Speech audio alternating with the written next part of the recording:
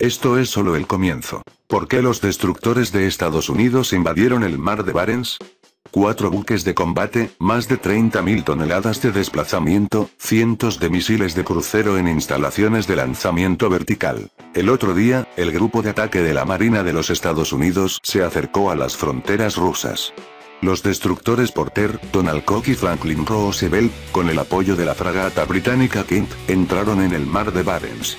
Los buques de superficie estadounidenses invadieron esta región por primera vez desde mediados de los años 80.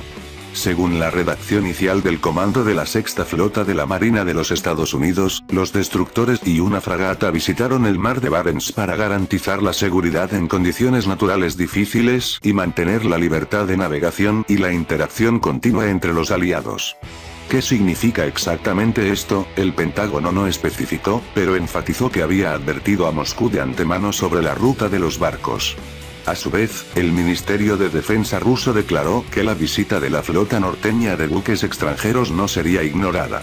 Las fuerzas y los medios de la flota del norte han comenzado a rastrear las acciones del grupo de ataque naval de la OTAN como parte de los destructores de Euro, defensa antimisiles. Porter, Donald Cook, Franklin Roosevelt de la Armada de los Estados Unidos y la fragata Uroken de la Armada del Reino Unido el 4 de mayo de este año al mar de Barents, dijo el Centro de Gestión de Defensa Nacional en un comunicado.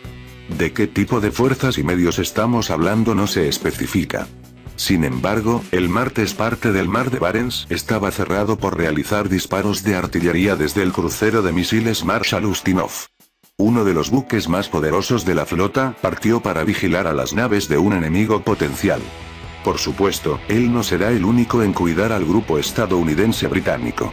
No revelaré un gran secreto si digo que estamos creando un sistema integrado de iluminación aérea, superficial y subacuática en las latitudes árticas, dice Víctor Murakovsky, editor en jefe de la revista Export Arms. Sus elementos principales ya están en funcionamiento. La puesta de sol de los destructores estadounidenses en el mar de Barents es un excelente entrenamiento para este sistema. Pero en general, en tales situaciones, una o dos naves deben acompañar a un grupo de un enemigo probable. Los invitados son seguidos por la aviación. Como regla general, los submarinos también están involucrados. Todo esto debe haber estado involucrado. Los barcos estadounidenses no han aparecido en el mar de Barents desde la Guerra Fría. Luego, la flota del norte, junto con la flota del Pacífico, representaba una seria amenaza para los Estados Unidos y sus aliados. Estas asociaciones incluyeron docenas de submarinos estratégicos capaces de llevar cientos de ojivas nucleares a un enemigo potencial. Las áreas de alerta de combate de los estrategas submarinos están marcadas en el mar de Barents, incluso ahora. Asegurar su estabilidad de combate y movimiento encubierto es una de las principales tareas de la flota del norte. Un adversario probable, por otro lado, está tratando de rastrear cada submarino para que puedan neutralizarlos rápidamente en caso de guerra. Hasta hace poco, principalmente aviones antisubmarinos y submarinos estaban involucrados en esto. Ahora decidieron usar naves de superficie. En los últimos años, la Marina de los Estados Unidos ha aumentado su actividad principalmente en el Mar Negro, donde sus destructores de misiles han visitado repetidamente, señala Murakovsky. Su aparición en el mar de Barents indica un cambio en la estrategia general del Pentágono. Después del final de la Guerra Fría, los estadounidenses no consideraron a la flota rusa como un digno rival y utilizaron las Fuerzas Armadas para operaciones expedicionarias en teatros terrestres de operaciones militares. Pero en los últimos años, Washington nuevamente ha comenzado a hablar sobre la necesidad de concentrarse en la confrontación con las grandes potencias, Rusia y China y están cambiando la dirección del entrenamiento operativo y de combate, la estructura de las Fuerzas Armadas, incluso conjuntos de armas y equipo militar. Uno de los elementos de esto es la entrada de un grupo de ataque naval en el mar de Barents. El experto enfatizó que tres destructores del tipo Arleigh Burke son una fuerza formidable. Cada uno lleva hasta 96 celdas del lanzador vertical MK-41. Se pueden equipar con Tomahawks para atacar objetivos terrestres, y municiones SM-2 y SM-3 para interceptar objetivos aéreos, incluidos misiles balísticos de alcance medio.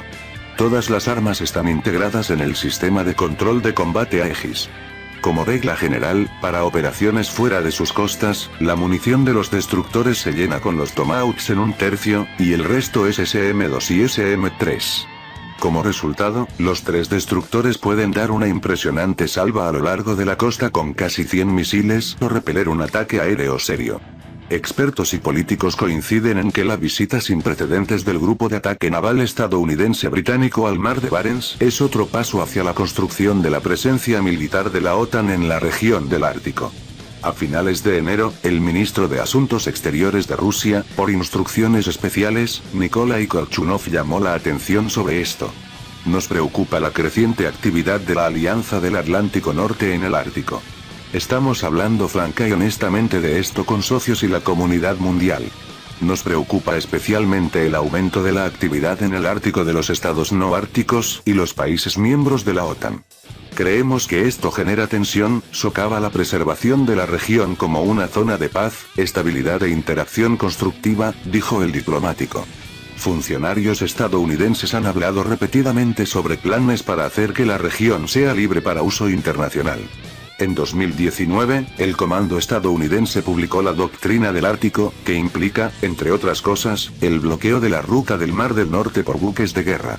En estas condiciones, el Ministerio de Defensa no tiene más remedio que construir su propia presencia militar. A finales de febrero, el ministro de Defensa, Sergei Shoigu, anunció el despliegue de otra división de defensa aérea en el Ártico. Según él, la ruta del Mar del Norte está bajo protección confiable. Cada año, la flota trabaja con las fuerzas aerotransportadas, y las fuerzas de operaciones especiales para defender importantes instalaciones industriales y proteger los intereses económicos de Rusia en la zona del Ártico.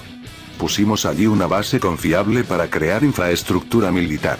Los complejos de viviendas administrativas, que no tienen análogos en el mundo, se construyeron en las islas de los archipiélagos árticos, en los que los militares llevan a cabo el servicio militar y el servicio de combate de forma rotativa, enfatizó el ministro. Bienvenidos a nuestro canal Ercir Militar, suscríbase a nuestro canal para tener la mayor información de la actualidad mundial, si te gustó el video dale like, gracias por su visita a nuestro canal.